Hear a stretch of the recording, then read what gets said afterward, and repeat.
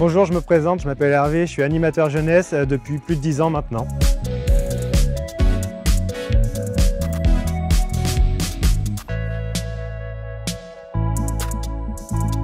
Les missions d'un animateur, c'est tout d'abord euh, d'avoir des grands temps d'échange et de préparation avec euh, toute l'équipe afin d'accueillir le mieux possible les enfants.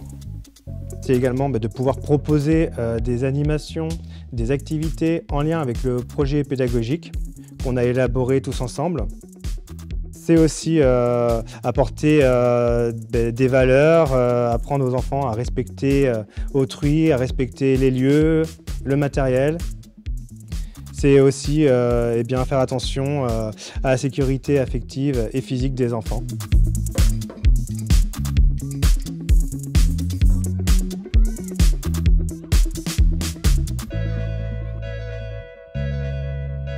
Je choisis ce métier parce que je me sens vraiment utile à la population.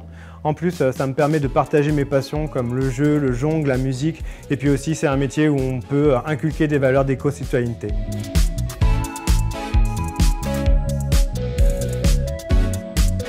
Un animateur, déjà, il doit être observateur.